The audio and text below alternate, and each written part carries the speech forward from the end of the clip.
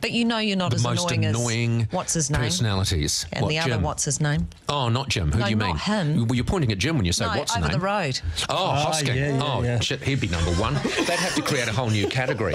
They'd have to take him out of the list to be fair for everybody else. God, he is the Adam Sandler of New Zealand broadcasting. I'm sorry, it's true, and it had to be said.